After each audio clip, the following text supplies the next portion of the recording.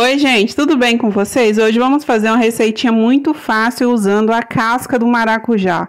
Ela tem diversos benefícios para a nossa saúde. Uma delas, ela é rica em fibra, ajuda no funcionamento do intestino, combate diabetes, melhora o colesterol, é rica em diversos minerais e é um calmante natural. Também ajuda a controlar a ansiedade, perca de peso, dentre outros benefícios. Então, não jogue a casca do maracujá fora, gente. Vamos aproveitar aí para melhorar aí a nossa saúde. E aqui, gente, eu tenho algumas cascas de maracujá que eu usei o maracujá e vou estar tá usando também as cascas. Se você não for usar a casca na hora, pode colocar em um saco plástico e deixar no congelador que ela dura bem tempo, para depois você estar tá utilizando. Fique agora com essa receitinha tão fácil e tão boa para a gente estar tá fazendo aí com a casca do maracujá.